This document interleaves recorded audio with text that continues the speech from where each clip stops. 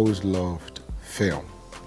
I, I, was one of the boys in the hood that would go and, I don't know if you're aware of it, go and carry the signboard that they write for 6.30, 30 and go and put it at a particular place so that they can allow me to go and watch a movie. I used to do that and I, I loved drawing a lot. So I've always been attracted to films. Um, um, and I've always loved to act. But it was when I was, I got to senior high that I had opportunity to do that. Um, I joined the drama group and then that's where it all started. Um, I developed the interest from senior high and immediately after that I knew I wanted to do acting. So I took it serious from there.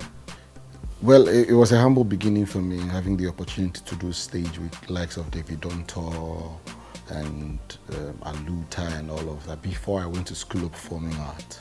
So I'd always been an actor, just doing that. But um, I knew I could always direct. It was something that I had passion for. It was something that all the times I did acting, I was still looking at it. I, I loved the directors. I had, I had opportunity to work with Frank Rajah, Pascal Amanfo, and all of that. So it was something that I had much interest in. So each and every time, apart from the acting, I still look at them when they're doing the directing thing. Um, I think it was right after school I developed the interest for writing. Um, I don't know, I think when I was in school I was doing a little writing, but I was not that serious as in university. But when I finished, you know, the hustle, you must do something. And I had learned all these things in school, so I decided to start writing for myself because I knew that nobody was going to give me the opportunity to direct their movie. Nobody. So I wanted my story that I think that I have very, I'm very confident about it and then push it to somebody. And that's what I tried doing. And I wanted to direct. So I was looking for somebody to produce. Like I have a story. Can you help me? I can direct. And it went around and around and around until somebody decided to do for Could This Be Love, which is my first directorial debut. and then it, it, the, the, the energy and the passion continued and, you know, this will be so hard for me to choose because I am um, I'm a character person. I do believe that every story stands on, apart from, I mean, the plot, on characters' shoulders. So I love to write different kinds of characters. Uh, I'm reading a lot. I like Bismarck Joe's character in April. I love, but I think if there's anybody that I really want to be, it will be the character in, um, um, in the corner. Romanus. He, he, he has the energy, he has the vibe, he's free, he loves to laugh, he loves to be funny, he's easygoing, you know, he doesn't really take life seriously and he has a, an ambition to become a musician. You know, I always love people that are drawn by their passion and their dreams and he's somebody that I think I would love to be like, but I've written a lot of characters that are also, you know,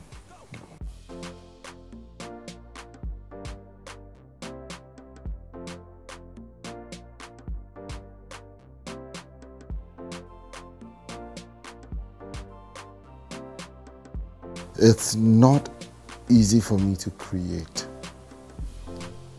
It's actually, it comes easy for me to create, but it's not easy because I like to think about what the audience will be thinking.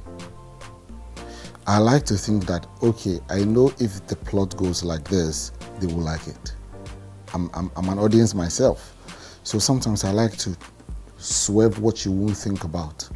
Um, it's actually interesting for me to create, not not like difficult. It's interesting. I, I like to think about the characters, what they think, what they have been. Maybe I might not put that even in the script, but I like to build a background for every character. So when I'm writing, it really takes me a little more time because I want to work with characters. I want you to watch my movie and see A, B, C, D all looking different but bringing one goal on board. I don't like to create characters that are almost the same. So it's a little, I won't say easy or difficult, it's interesting for me when I'm, I'm creating these things. I love it. One of the things I like, like I can think of what a character said and I'll just laugh. And people ask me, what is wrong with you? I said, you don't know what I'm talking about. There's a, something I'm writing that this character I think is, is, is, is being funny or is being something. And I know, interestingly, when I finished and people watch the scene, they also laugh like the same way I laughed when I conceived the idea. um, if I have an idea, I want to see what the other person thinks about it. So I can ask, um, what do you think about this? Then I want to hear everybody's opinion. Sometimes I have my way I want to go. But you'll be shocked that if you talk to people about some ideas, I don't even make them know that this is what I'm driving at. And they give you good opinions. Some, some fall in line with what you're thinking about, some don't. If it's good, you take it. If it's not good, you take it. But um, I like to think and brood over an idea over and over again before I bring it out, before I make it a script, before. So before I even start the script, I've thought about too many things and how I want it to go. Um, basically, I love to over, like I said, over and over again, think about it and ask people of the ideas and what they think about it. And then when I finish all those research, and then I start putting it into writing. Um, yeah, I stop. I have a lot. It's, it's amazing you ask this question because I have like three scripts I'm writing. Guess what? All of them, I've written half of the script. It's not like I don't know what I want to write. I know what I want to write. I know the story. I know the plot. But before I do a scene, I I think of what the, the, the, people will say. I think of dialogue. I think it would just be important. Um, how do I want to begin the scene? Should the character sit down? Should he stand? Should he come from somewhere? I think about all these things before I put up. So I'm always in the in the in the world of the characters, creating it. Amazingly, sometimes when I'm writing, I act this character and I said, okay, if I ask where would you be or uh, what, what is your name, how would the other character have acted it? I want to act it and see which uh, how it's gonna go before I put it down. So uh, when when when I'm writing and or I'm creating something and I, I get stuck, I free my mind. I just go and chill. I just leave it, think about something else, and keep brooding over what should be my next. It should be different from whatever everything I've written before, everything I've done before. You know, I, I, just, I just go away and come back to it when it's the right time. I don't really rush things because I think I've built a brand over the years that anything at United should be very good. So um, it takes me a little more time to put things. But when I'm stuck, free your mind. Just go chill out.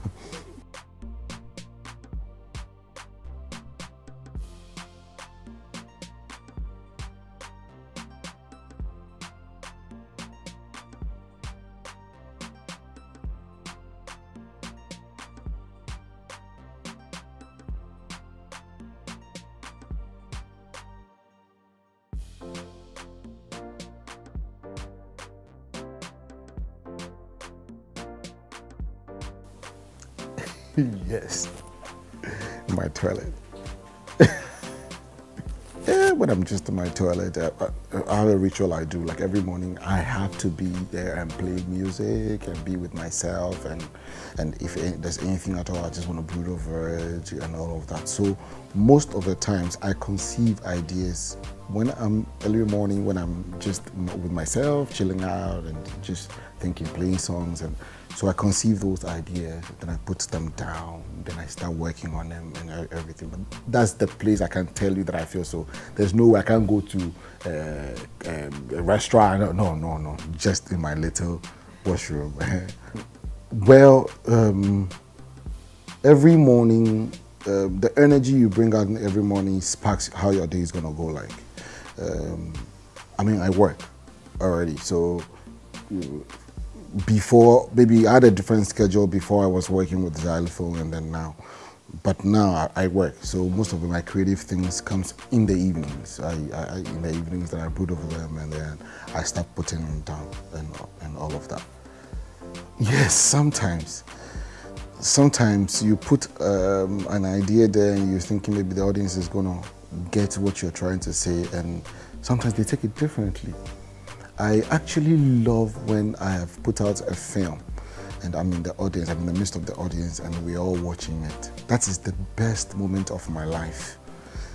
That is just the best. I want to see their reactions, times they will laugh. Because they have, like I told you, there are times that I have seen uh, films I've created, I know that, okay, this one, will make somebody laugh And then, so when I, I get a satisfaction when they're laughing, uh, that is just the best moment for me. But yeah, sometimes you, you they watch the film and they come, they, they, they kind of argue and they kind of go like, no, this is not supposed to happen. I'm like, no, why is it not thinking the way I'm thinking? This is how it's supposed to happen. But like, you know, that's the fun of it. When you do something and somebody takes it in a different um, um, way, the way they want to take it. Most of the times, I don't do the film for myself. You know, I think about the audience a lot. They are the one I'm making the film for. So sometimes you satisfy them, sometimes you don't satisfy them. But all in all, it's a, it's a creative work and everybody has an opinion how it should go like. I take criticisms, good, positive criticisms in good faith. There are a couple of people that actually don't know what they are saying, but they just want to bring their opinions out. That too, you still take it in good faith and continue. It doesn't change whatever you want to do. But um, I appreciate good positive, no, I mean positive criticism. It could be a negative on you, it could be positive, but it has to be something constructive. And I, I allow that. I mean, that's the only thing that will make you grow. If, if you always think, like I told you, I don't do the film for myself, I do it for the audience. So if they are saying, no, no, no, it's cool. you see my wife, eh? she's like my baby. She can worry, like, she can just be all over around you. So if I'm around her, I, I will not have that chance to unless I get her into the mood of trying to listen to me. Like, babe, what do you think about this? Then she can start saying, uh, that way I can create with her. But other than that, I have to be alone because I actually behave funny when I'm creating. I like to act everybody's character. So if you're around me, you think, ah, nah, I, like I said, I can just burst out laughing because I have I have thought of a line a character has said, and I think it's funny. And so I just can't keep it. I just best out laughing. And sometimes my friends will start asking, "Where, like you know what I'm saying? Is everything all right?" Uh, this is funny. So I like to most of the time be alone, and where I can be alone and feel comfortable is my washroom. yeah. Besides film, sometimes I wish I can sing because of my writing ability and I, I, I, sometimes wish I can convey my message through music as well, you know. Um, besides that, I think I'm good at like the I'm think organizing people and putting something out there for people to enjoy it. So theater as well is I, I practiced that whilst I was in school, but sometimes I really feel like I should be a musician. I should have gotten a good voice. You know, like the Tyrese, like the Jamie Foxx, they can do acting, they can do this, they can do that. I I can only do everything filmmaking, not anything outside. I, I should be able to sing. I should be able to, you know, I'd have I'd have loved myself because I'm that's that's the kind of person I am. Very creative. Things comes to your mind, and I do believe that if I did have the chance of having a good voice, by now, you know, I take some some BET. I'm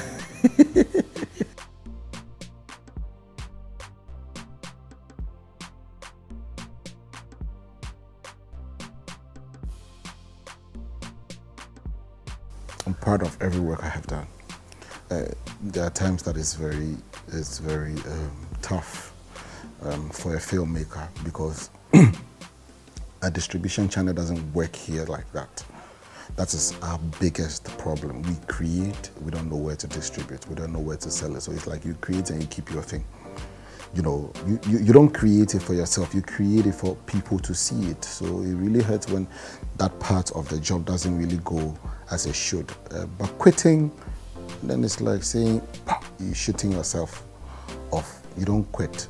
Um, you don't. I mean, you can get tired, you can start crawling, you can start walking, um, relax more, but not quitting. The joy, the joy I give to people when they watch my product. You know, you'll be there and somebody will say, when is Connor coming back? We like the Connor so much. We like, when is season two coming back? Oh, that your movie, I like it. The joy that you bring on people's faces, knowing that, okay, you've really done a good job. You know, uh, people motivate you. People say, I like your work. And you go like, oh, so these people are also watching you know, things like that motivate me. Uh, when you conceive new idea, it motivates me to want to do something uh, crazy, you know. Um, as for quitting, never, never.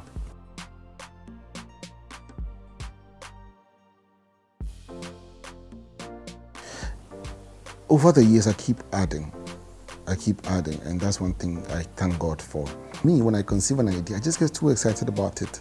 Like I want people to see what I have I have seen, like the picture I have seen in my eye. I just want people to see it. Everybody who has seen Beautiful Ruins actually loves it. Point is, the margin I want to create for my things that I do is the only thing that worries me. Like you don't get the opportunity to for a lot of people to see what you can do and and what you have in you. You know, that's that's just the, the only problem. The distribution channel I'm talking about. Because Beautiful Ruins, a lot of people have not seen it in Ghana because it's not been released in Ghana. You understand what I'm saying? So uh, that's the only thing that sometimes I'm going like, ah. Yeah, but at the end of the day, the product was nice. The people, the audience that have seen Beautiful Ruins loved it and they know me for it. So I think it's a good thing, very much. You know, like I told you, for me, it is, um, I feel limited when um, you don't have enough resources. I know what I can do. And um, it's always been a learning process for me. So imagine that you have learned something new and you're still using the old tactics to do to, to, to, to do it. It's very difficult. You, you maybe you know that in this particular scene we're walking. You you don't need a handheld shot. You need a DJI Ronin or something that can a, a jib, something that can make it smooth. You don't have the resources, and it limits you to want to uh, cut shortcut and do something that uh, because you don't have the resources. Um, but we try to create the best out of what we have basically. Everything I've created, if I have all the resources, I have all the time, I have all the finances, trust me, it will look too better than what I have. too much. Yes, um, I've always brought the element of laughter, even when you watch my films and they are very serious to things we're discussing. You still have that element of the comic element in it. There are parts of you can't watch a Eddie Nartey's film and not have great moment to laugh off something. You would definitely laugh about it, even in difficult situations. You watch Shadow Romance, you watch, I mean, they have gun and everything, and there was something that will provoke laughter. I don't know how it comes, but I think that is something amazing and unique about about my films. There's always, it may not be a comedy, may, but there's always moment that you laugh over it. There are always moments that you you you'll be silent about it. It might be, yeah, you might be, yeah. I believe in the right time. Um, yes, because like I told you, the opportunities I had when I started my directing are not the same opportunities I have now, and I do believe that um, in the near future to come, the opportunities I will have will look very different. That way, I will now be able to share most of the things that uh, per resources, per financial uh, you're not able to do. If my creative works will have an odor, um, will smell something um, like oud. Do you know oud? Like perfume oud. Like if you know oud, you know. Like the people will talk, if you know, you know. Oud, you know, oud. Like that, you know, it's something that, go and search for oud, like uh, perfume. Yeah.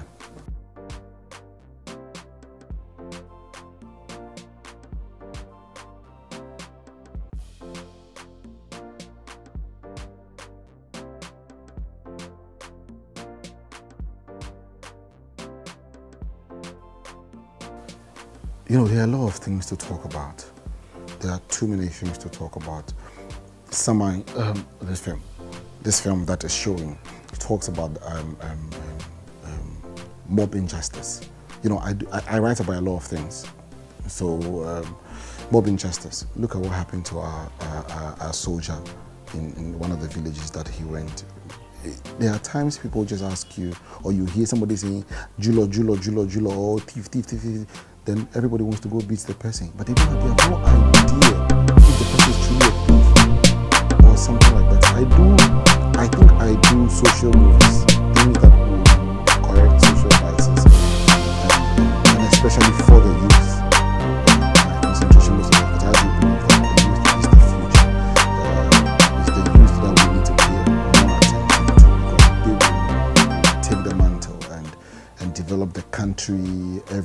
So if the youth are, I mean, conscious of uh, the things that they have to do, it will be a better place for all of us. Because um, it's me and you that will become president tomorrow. It is me and you that will own the positions and the big companies tomorrow. So if our mindset is of a positive one, it's of a good direction, tomorrow our children will enjoy consistency. Whatever you decide to do, practice it every day. You'll be good at it. You'll be better at it every day of your life when you practice it. Will become part of you. If you're a footballer, you practice every day. You obviously become better. So whatever you, the 12-year-old boy, you have decided to do, just make sure that you practice it, you know it, you learn everything about it. That's the only thing that's going to make you better.